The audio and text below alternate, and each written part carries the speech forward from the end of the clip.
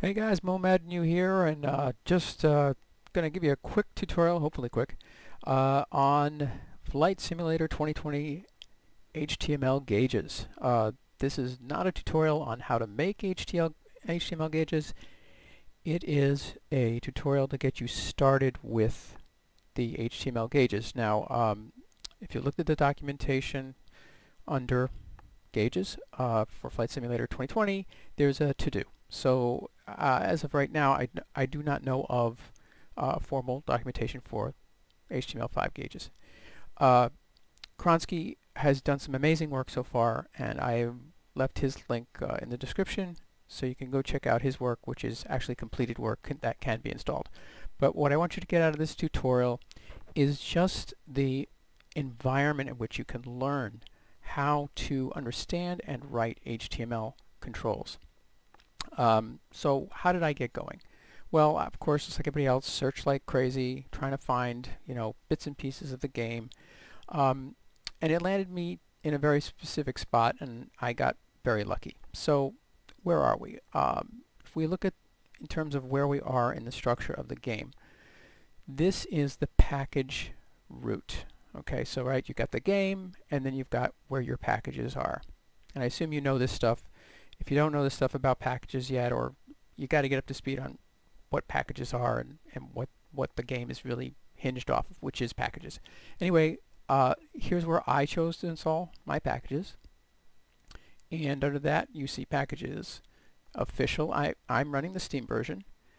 Now, if you look all the way down here, uh, under this long hierarchy, I stumbled upon this little gem right here test.html. And I said, oh wow, developer left that in there. Isn't that convenient? So I said, this is great, this is great. So I took it and I dragged it into a project over here, Visual Studio 2019.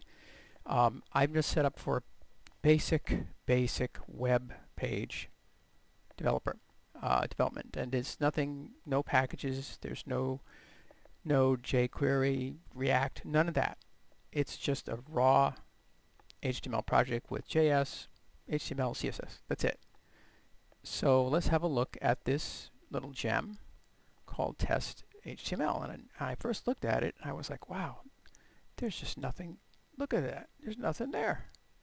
This thing's amazing. So uh, I got all excited. Um, notice here, oh, okay, course, it needs a JS file. So I went back to templates, and sure enough, it happened to be located here. There's the JS file, dragged it over. So I was so excited. So here we go. We've got our test. We've got our JS file.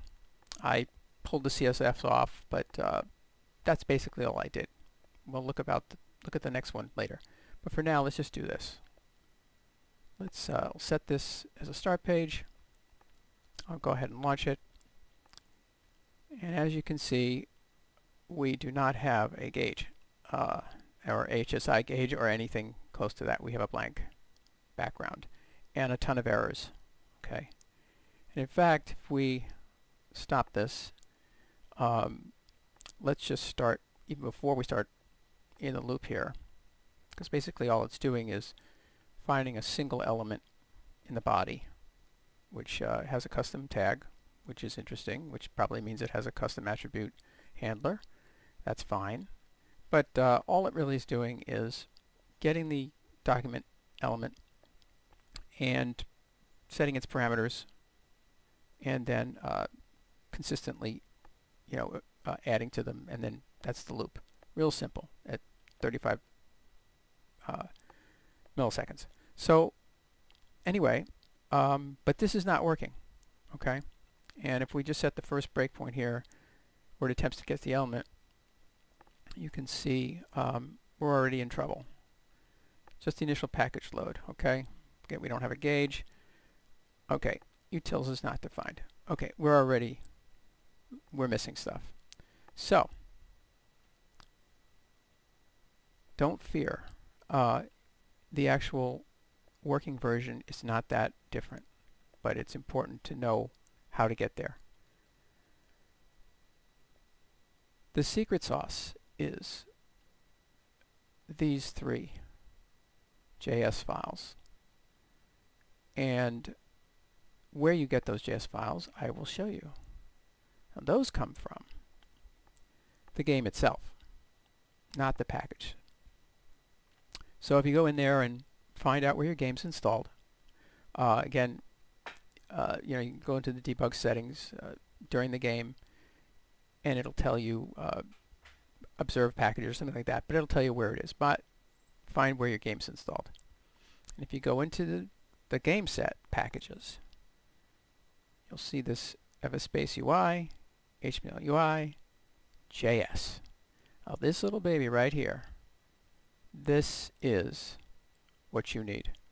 Okay, and specifically, you're going to need avionics, common, and coherent. Now, coherent, what is coherent? Well, coherent is the framework that is being used to drive the entire system. Basically, it's the glue between the HTML gauges and the C++ that drives the game. I won't go into it any more than that. Google Coherent, you'll see the whole uh, system that is being used and how, how that works. But we don't have to concern ourselves with that because the developers uh, anticipated that a test mode was going to be needed and they actually do a pretty good job of not complaining too much that the engine, the coherent engine, is not working. So that's a really good thing for us.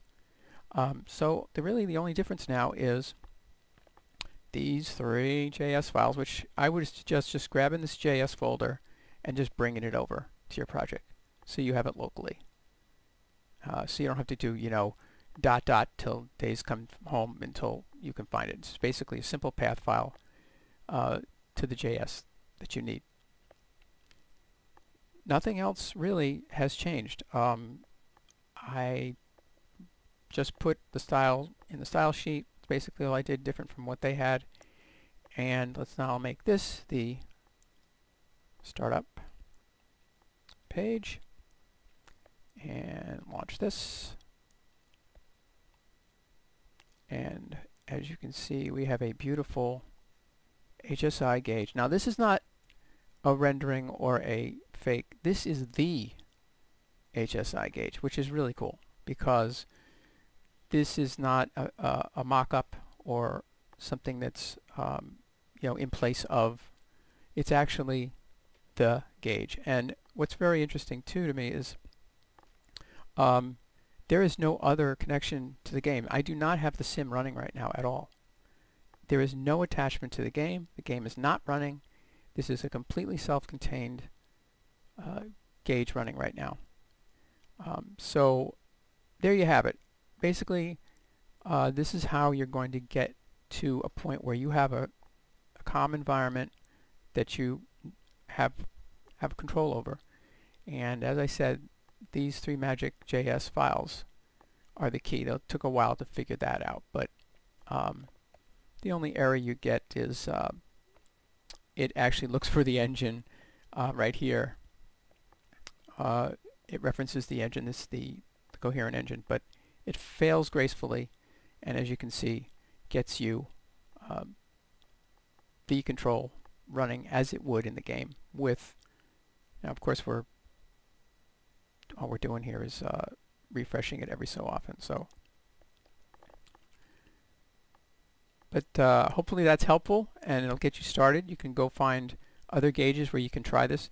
There are two other test.htmls. Um, you can go search for those and uh, hopefully you can get yourself going and building your own. That's it.